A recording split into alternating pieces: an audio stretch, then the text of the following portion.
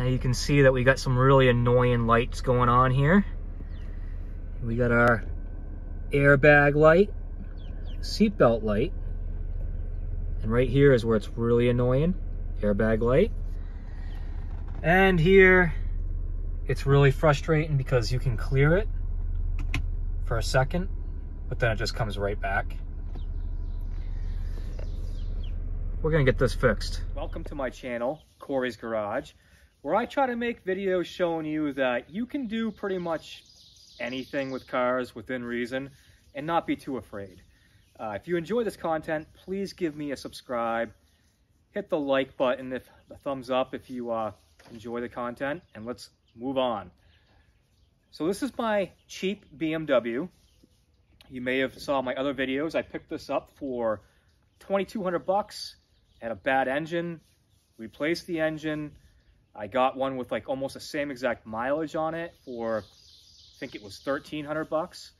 So all in all, I've got less than four grand in this car. Been driving it back and forth to work for the past three days, half hour drive each way. Been going great, but there's a couple things I still need to straighten out before I try to sell it, if I sell it. Um, so the airbag light is on, and I was able to pull up on my uh, Bluetooth code reader that the headrest, active headrest, actually had tripped. So at some point, this car has been tapped in the rear, and there's a little bit of a paint scuff on the passenger side rear bumper. Maybe I'll show you that in a minute. But I, that's all I could find. I can't find anything that was like repaired on the car. But anyways, these headrests, they, they push forward if there's any sort of impact to prevent whiplash.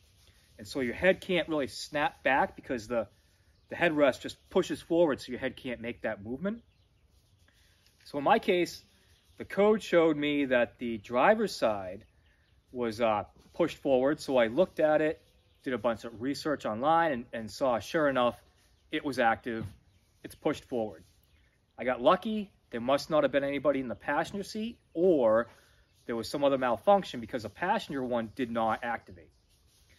So what we're going to do today is we're going to replace that headrest with a new one and then see what do we need to do to clear the code. Um, it's possible that I have other things wrong, but these were, this was the most obvious, clear one to fix. I know for sure that I could fix it. So I ordered a new one off eBay or a used one that wasn't active. I haven't opened the box yet, so let's hope it really isn't active. And we're going to replace that.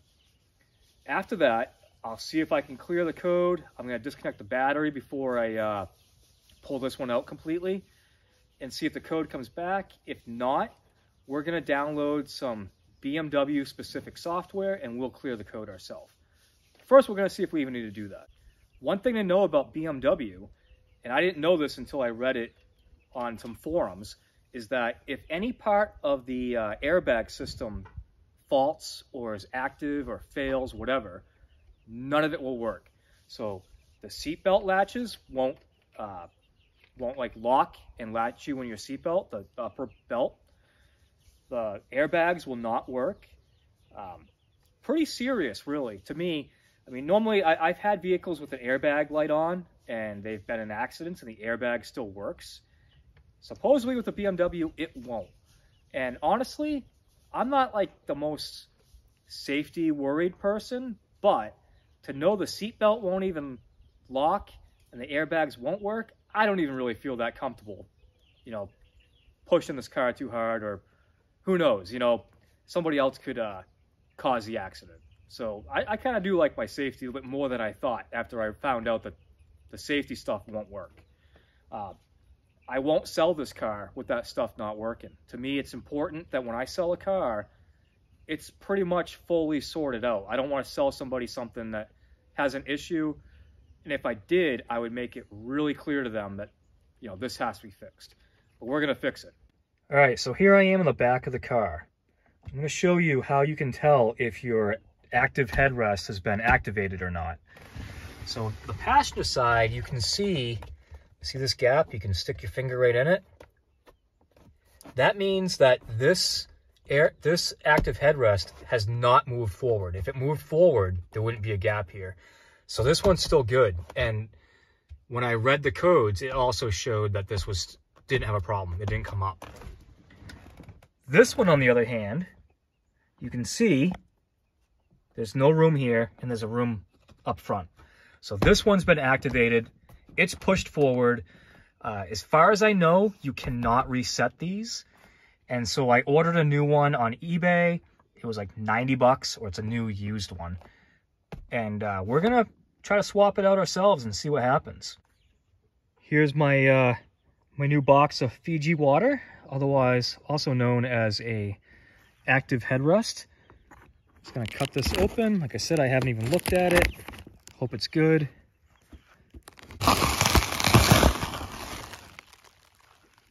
All right, excellent. The color is right, it's perfect, and it's not activated. If it was, this gap wouldn't be here. So we are gonna pull out the other one and see what we have. I think it's going to be pretty easy. I already have watched how other people did it on YouTube. This is not the only video showing how to do this.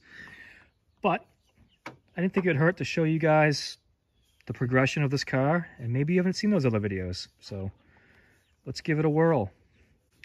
Also, because this headrest has not been activated and the seller was telling the truth, pictures were honest, I will put a link to the seller's eBay store in the description. So you know, gotta give props to them. They gave me a good part. It was like 90 bucks. Can't really beat that. I've got the seat tipped all the way forward. Um, I'm gonna get these two. There's two bottom, I think they're just push clips the bottom of this. And I've got this little tool here I'm gonna try to use. I should be able to get under them and pop them out, but we'll see. One other quick thing I wanted to mention though, before we go further, is that after I drove the car for a little while, it started complaining that I needed to buckle up the passenger, even when there wasn't a passenger. I don't know if that's related to the headrest or if that cushion is bad and it thinks there's always somebody sitting in it. I don't know for sure if I'm going to fix it, depending on what the symptoms are. So if it thinks there's always somebody sitting there and the fix is to buckle it when there isn't anybody there, but the airbag's still going to work, I probably won't fix it. And I'll just tell the next owners that. But if it becomes a bigger problem, I'll buy a new seat cushion.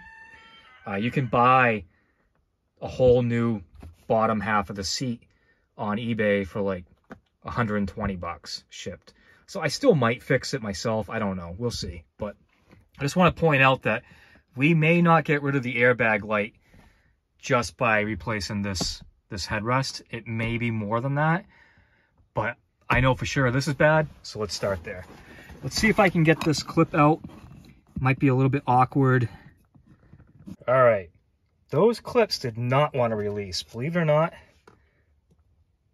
this was a tool for the job for me. I got one out. Really didn't want to come out, you can see. And the other one, I just broke the head off. Um, I have more push clips like this, so I'll put new ones in, not a big deal. And it'll be a lot easier to pull the one that, that the head broke off, just pull it through the other direction once I get the back off. So you can see it's, it's loose here. I'm not sure if it just drops down. There we go. All right. We got some pretty cool stuff back here. So what we're really after though is this. So this wire here needs to be disconnected and then come up with the, the headrest. I think it's literally a matter of just pushing this button and yanking the headrest out. But so far, I have not disconnected the battery. And the reason I haven't done that yet is because I'm going to tip the seat all the way back now to give me room, headroom, to be able to get that headrest out.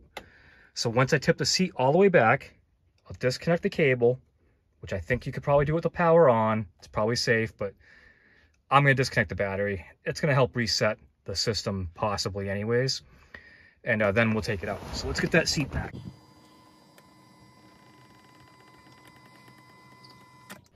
It's not all the way back, but I believe that's plenty of clearance. It's pretty easy. Just pull this panel out.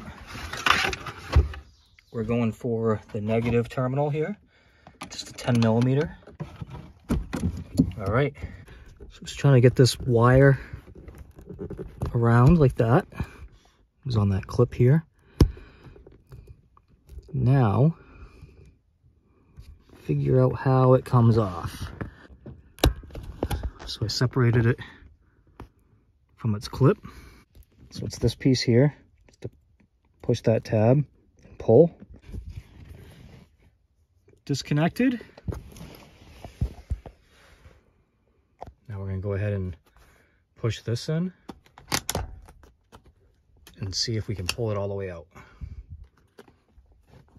I did see there was a guy he was struggling with this side, like there was some sort of clip here, but I don't know what that would be. Then right here, if you remember, it went, the wire went over this clip.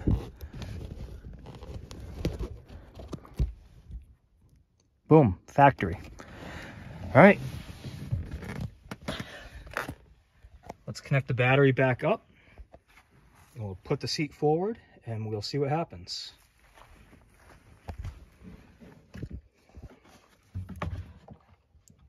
Connector going back on. Little sparks are normal. It's all the electronics in the car just kind of getting powered up. Capacitors are filling, things like that. Nothing to be scared of.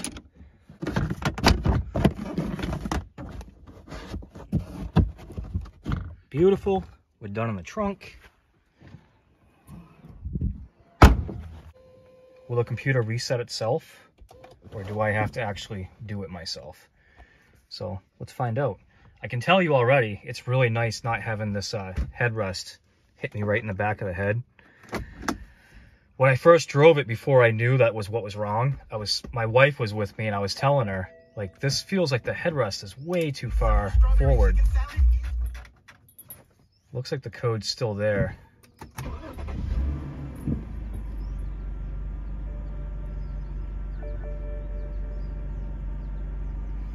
So the uh, traction control and brake light is normal.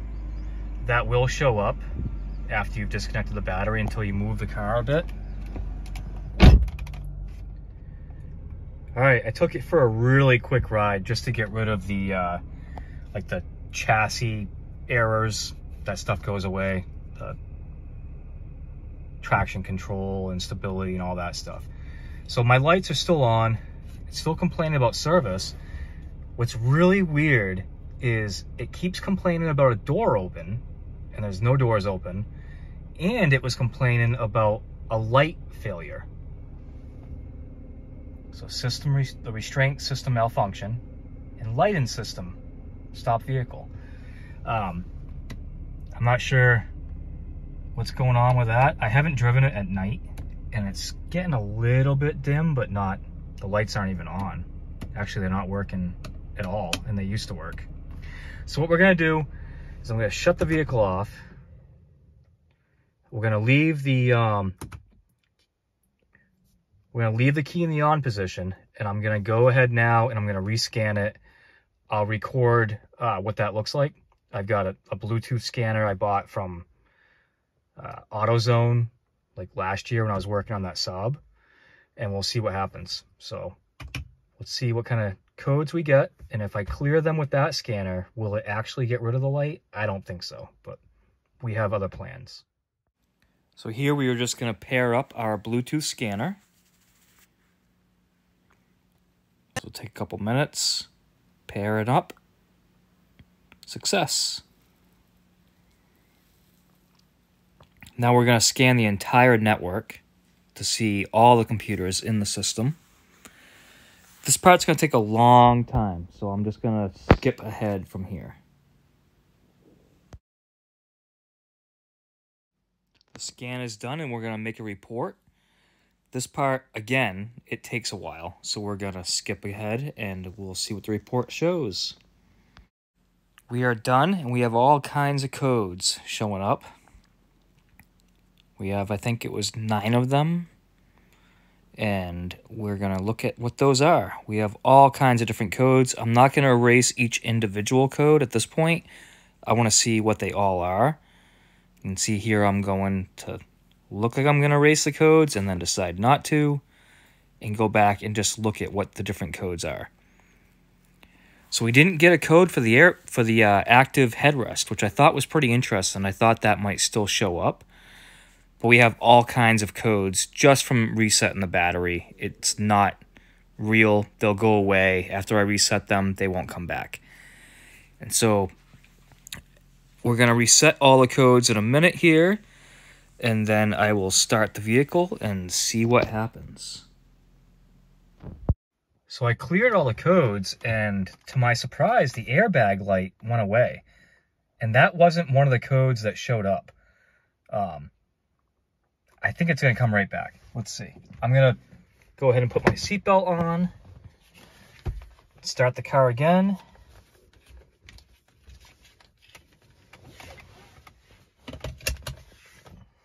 Oh, seat bag light went away. All right, seat, the seatbelt light went away. Let's start it and see what happens. Wow. Okay. It looks like we fixed it. Still have the light system error. Which is really interesting because that, that's not a code that even showed up.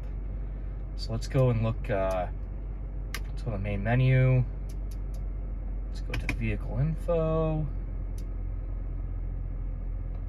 Vehicle status. Still trying to measure the oil.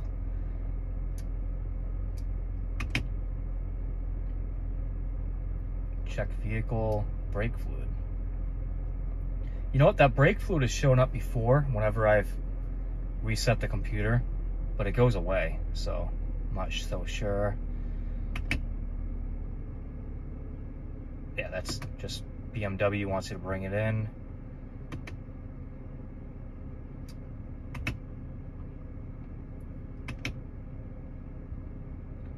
Yeah, this is really weird. I walked around the car. I didn't see anything wrong with the lights. It's just really bizarre to me that that would show up after fixing the active headrest. So that's odd. Guess I can possibly look at the manual or details. I don't know, doesn't work. And I know it's a tire malfunction. So anyways, we have a new error about the lighting system, but our airbag's fixed. This tells me that the uh, passenger airbag is detecting whether or not somebody's sitting in the seat. So let's just see if it complains.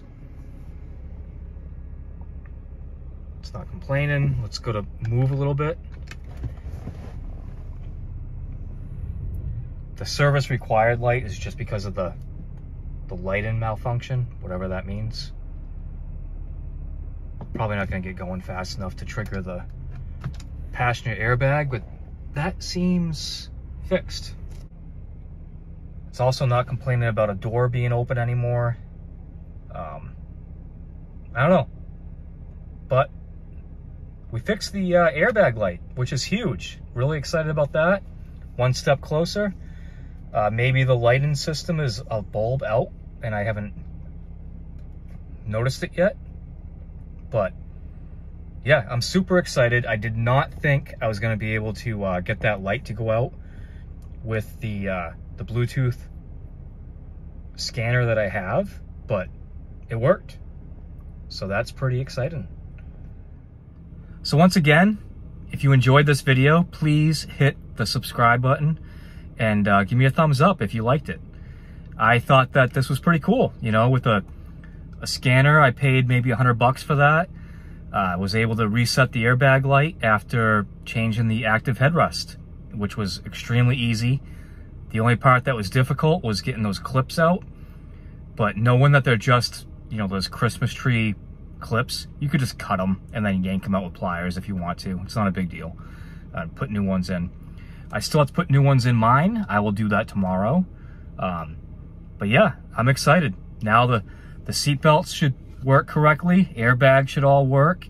Headrest should work. I just got to figure out why all of a sudden the lighting system has a problem. But Like I said, it's getting a little bit dark, but they, they used to work on, uh, when I would switch them to manual or whatever, and right now the, the lighting system isn't working at all. Really interesting. If you're a BMW buff and you might know what's going on there, please let me know. Uh, maybe you will comment before I figure it out, but I'm pretty sure I'll figure it out. We're getting really close with this car, really close to being able to sell it. It's going to take a few more weeks for the title to show up anyways, so it's not a big deal. And I don't mind driving it and enjoying it until that day comes. Thanks for watching. Bye.